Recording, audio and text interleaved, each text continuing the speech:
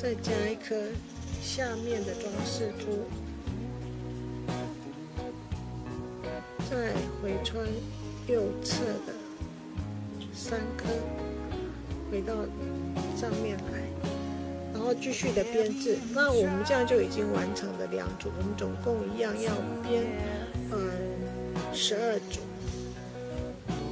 那最后一组的这个结合的地方，我们要跟它一样。跟这边一样，跟这个珍珠前面的这个刚才结合的这个组合的地方是一样的做法。好，那我们已经又到了这个要两侧要把它组合起来的位置哈。第二侧也已经编了十一组，那第十二组的时候，我们也是一样要共用三颗珠子，所以我们在这里只有加了。三颗，哎，就是小大小三颗珠子之后，要来共用这个第一侧的三颗，由上往下，由上往下，再回穿刚才加的那三颗。这个我们第一侧的线留在这里哈，稍微要稍微的。把那个线固定好，再来穿比较好穿。回穿这个步骤加的三颗珠子，一样加一颗上面的装饰珠，然后回穿四颗。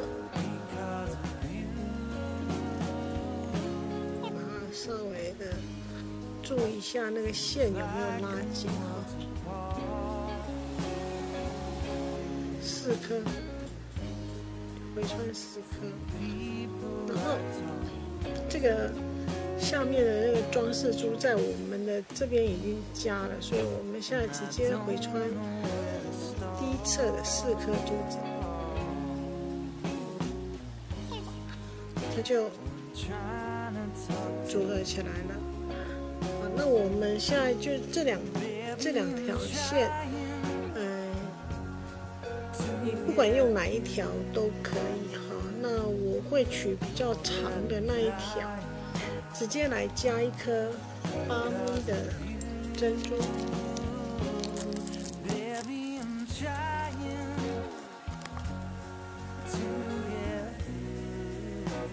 加一颗八咪的珍珠。那嗯，等一下要做那个流苏的部分哈。那呃，在流苏之前，我们有先做一组那个螺旋边。那这一组螺旋边的话，我们中间珠的部分是四颗，四颗中哎中间中间珠。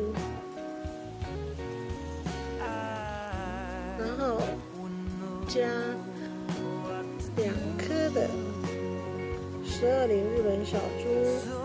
再一颗四米的角珠，再两颗的十二零日本小珠，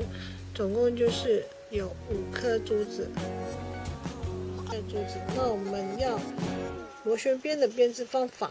是由下往上回穿四颗中间珠。那这里因为这中间只有一条线，所以我们要再来做一个补强的动作。那我们就把这个线再回穿外侧珠，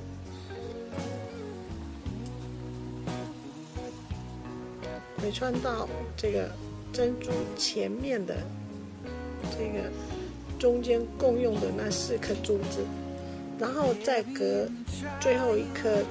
十二。回穿到这个螺旋边的部分，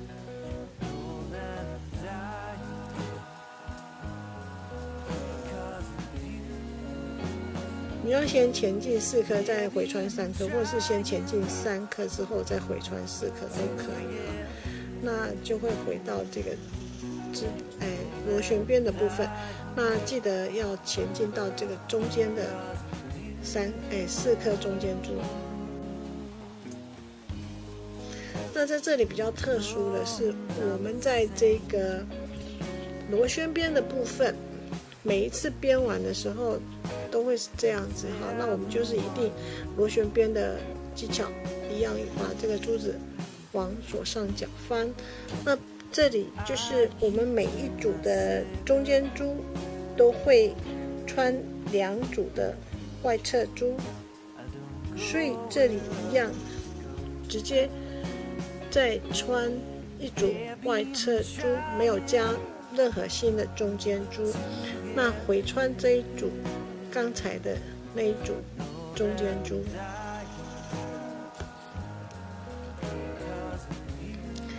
一样把它往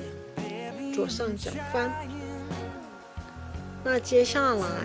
都要加两颗新的中间珠，再一组外侧珠。所以会是呃两颗八零，再加两颗八十二零，然后四米的角珠，再十二零两颗，这是中间珠，两颗新的中间珠，然后再一组新的外侧珠。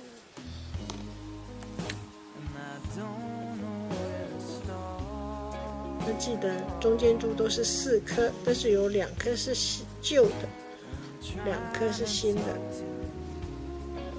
编完之后一样往左上角翻。那记得这一组中间珠还要再加一组外侧珠，它是两组外侧珠，所以再加两颗十二零，一颗水晶，再一颗，再两颗十二零。一样五颗这一组外侧珠，那一样回穿四颗，四颗中间珠，没有加任何新的中间珠。好，那第二组的中间珠也编了两组的外侧珠之后，记得往左上角翻，再加两颗新的中间珠，然后再一组外侧珠。以这样的方式来继续编制，那我们总共会编，呃，这样子就是两组两组的，总共有呃六组，等于是有六段，六段这样子，呃，就等于是一段一段有两组。那这样子已经两段了，然后有四组，一二三四，有四颗水晶角珠，但是它只有两段而已哈。那我们总共要编六段，所以会有十二颗的水晶角珠。好，那我们已经编完了这个六段的螺旋边哈，那呃就继续在编流苏的部分，加两颗十二零。一颗四米的角珠，再一颗八米的珍珠。那接下来一样还是编那个圣彼得堡边哈，所以还是小大小小大小，嗯，两组两组，那一样是回穿第一组。第一二三颗，也是要把它推到这个织带，这样子不行，好，要紧密着，再加一颗十二，由上往下回穿三颗，再前进珍珠，还有四米的角珠。以及这里加了两颗十二厘，可是这里还是没有办法回转，那我们就要在前进这个螺旋边的部分，或者是你隔着这一颗呃这一颗这个十二厘日本小珠，然后回穿上去也可以哈，呃，那隔着这个最后一颗的这个十二零，然后回穿到这个圣彼得堡边的部分，我们要来做流苏。好，回到这里了，那开始要来做流苏的部分哈。那流苏的部分的话，我们一样是以圣彼得堡边的基本型，就是小、大、小、小、大。小两组，然后回穿第一组，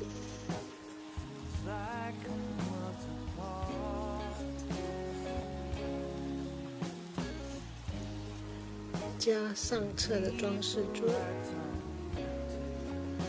回穿四颗，再加一颗下侧的装饰珠，回穿三颗。